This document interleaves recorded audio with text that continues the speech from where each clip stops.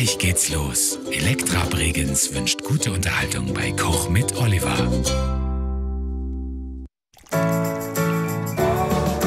Genussvolle Momente bei Koch mit Oliver wünscht Coca-Cola. Woche 11 von Koch dich schlank. Und der Gewichtsverlust ist ein echter Gewinn. Oliver Hoffingers Zuschauer haben bereits fast 700 Kilo verloren.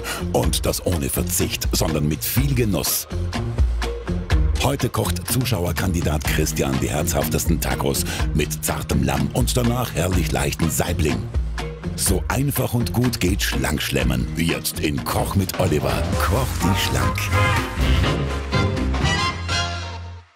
Hallo und herzlich willkommen bei Koch mit Oliver, Koch dich schlank. Wir sind in Woche 11 und schauen Sie, bei mir hat sich schon was getan und ich bin richtig stolz auf Sie. Bei Ihnen hat sich auch viel getan. Sie haben viel abgenommen, Sie haben auch viel gepostet und sind kräftig mit dabei. Vielen Dank dafür.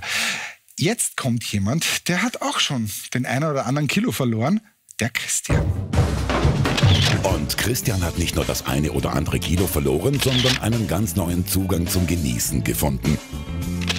Aber das soll uns der Salzburger, der mittlerweile seinen eigenen Foodblog hat, gleich selbst ganz stolz erzählen. Lieber Christian, Hallo, direkt lieber. aus Salzburg. Und jetzt sprich, wie viel Kilo?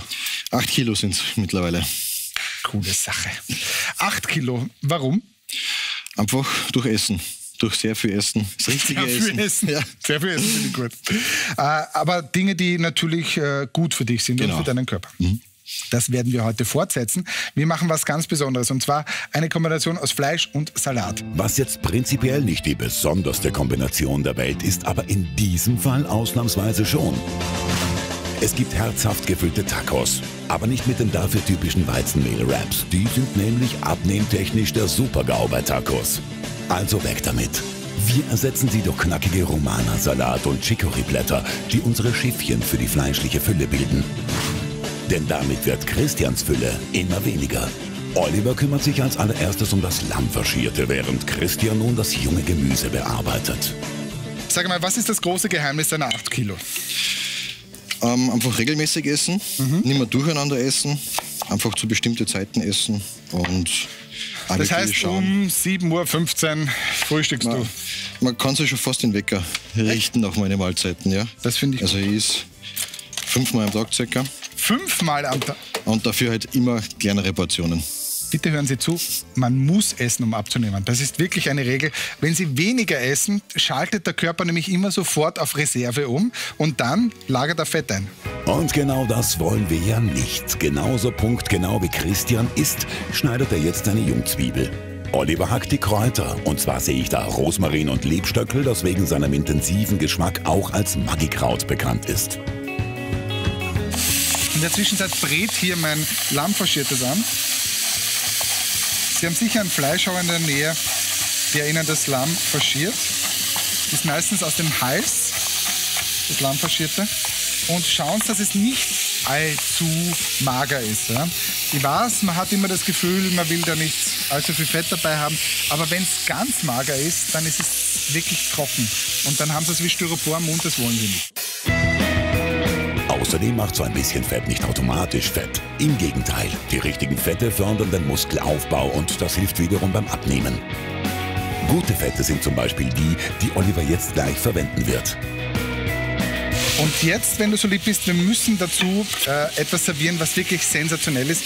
Und das werden wir ausnahmsweise frittieren. Ja? Wir, ich hätte gern, dass wir karamellisierten Knoblauch dabei haben. Ne? Das ist ein ganz ein junger Knoblauch, den gibt es eben im, Früh, im Frühling, Frühsommer. Das, Sie sehen es da außen an der roten Farbe. Den müssen wir schälen. Ja? Und die großen Zehen hätte ich gerne in feine Scheiben geschnitten. Junger Knoblauch ist geschmacklich irgendwo zwischen Knoblauch und Lauch zu Hause und schmeckt herrlich scharf. Das Coole am Jungknoblauch ist aber abnehmtechnisch wirklich sein zartes Alter. Er ist extrem saftig und nimmt daher beim Frittieren nicht so viel Fett auf wie sein alter Bruder. Unser Lämmchen, das ungefähr im gleichen Alter ist wie der junge Knoblauch, brutzelt währenddessen schon schön in der Pfanne. Bist du jemand, der Lamm gern isst? Doch, ja, Lamm Ja? mag ich sehr gern. Allerdings wieder mal als einziger. Als einziger in der Familie, das ist dann immer schwierig. Äh, Es ist natürlich schon so, dass Lamm einen intensiveren Fleischgeschmack hat als zum Beispiel Rind und Schwein oder Kalb.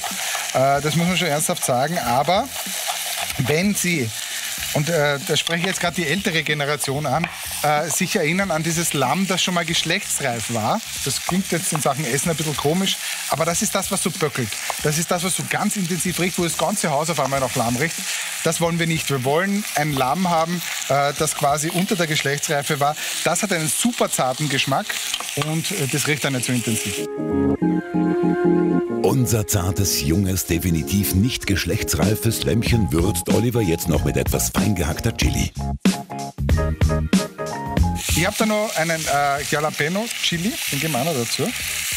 Weil ich finde, dass nur der thailändische Chili ist ein bisschen zu wenig. Wir essen ja beide scharf, oder? Genau, ja, sehr gern sogar. So. Und das soll ja richtig spicy sein. Gerade zur Vorspeise. Es regt den Appetit an. Und jetzt geben wir da die Paradeiser dazu. Ich schneide in kleine Würfel. Würzt man es heute bis zum Hicks oder erlebe ich deinen Hicks heute nicht? Ah, ja, du sprichst gerade was an, was ja ganz neu ist. Warte mal, ich habe da nämlich eine Soße. Die habe ich mitkreieren dürfen. Und äh, schauen Sie mal her. Die heißt deswegen Hicks, weil ich zum Hicksen anfange, wenn's, äh, wenn es selber ist. Und äh, das macht so richtig Sinn. Wenig davon draufgeben und es schmeckt richtig schön intensiv scharf. Äh, werden wir schauen. Ich, ich würde es heute erleben, dass du Ja? hickst. Ja, einen hicksenden Oliver sehen wir auch immer wieder gern. Bis es soweit ist, müssen aber erst einmal die Paradeiser gewürfelt und die Gurke filetiert werden. Es ist witzig, dass die in Wien Paradeiser heißen. Bei euch heißen es Tomaten, ja? Tomaten, ja. Und Paradeiser Gar nicht, oder? was anfangen können. Du, und wie ist es mit Erdäpfeln und äh, Kartoffeln. Kartoffeln? Genau. Bei euch Kartoffeln, ne? Kartoffeln. Bei uns Erdäpfel. Die Nähe zum geliebten deutschen Nachbarn kann Salzburg halt nicht leugnen, auch wenn die Wiener Variante einfach die richtige ist. Dass die, die, die Köche in, auf der ganzen Welt haben ja die französische Küche gern als Vorbild. Und da heißt es ja auch Pomme de terre. Das heißt also der Erdapfel.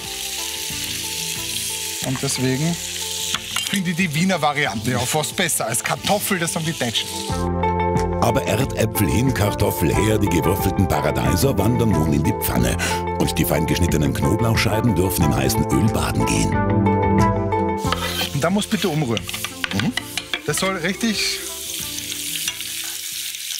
braun werden. Braun Aber werden, das ja. muss kurz vorm richtig braun sein, weil das kurz noch nachzieht. Ja?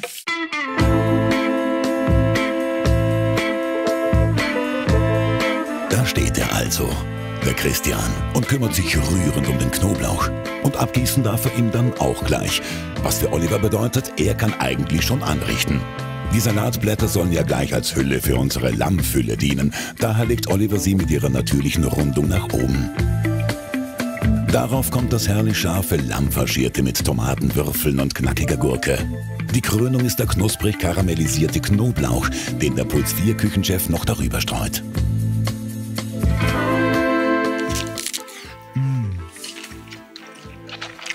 Der Knoblauch oben drauf. Vor allem Mhm. ganz dezent lahm, dieser karamellisierte Knoblauch und gerade die Bitterstoffe. Mhm.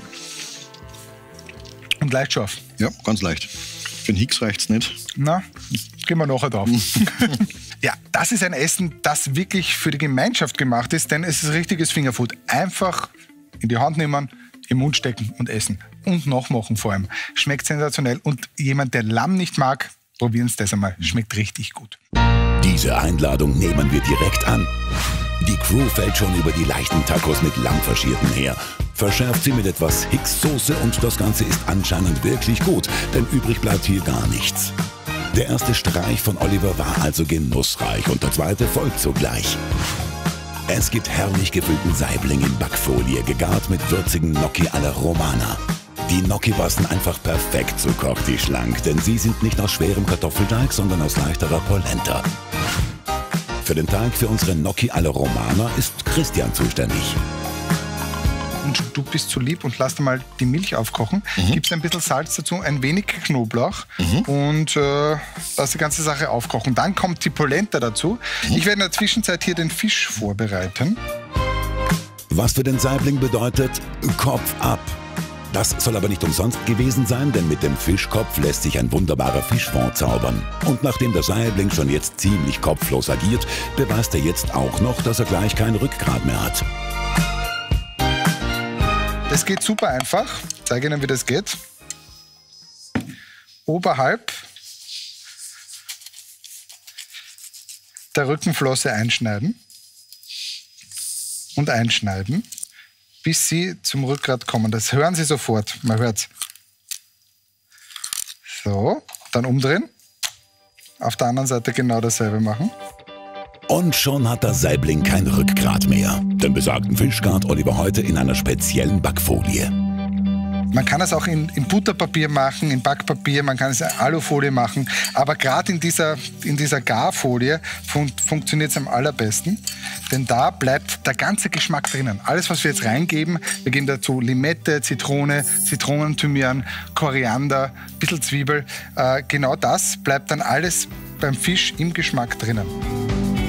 Bevor der Fisch aber in der Folie verschwindet, rührt Christian schon die Polenta in die heiße Milch ein. Jetzt muss sie nur noch kurz durchziehen und für das Finish übernimmt Oliver noch kurz den Schneebesen.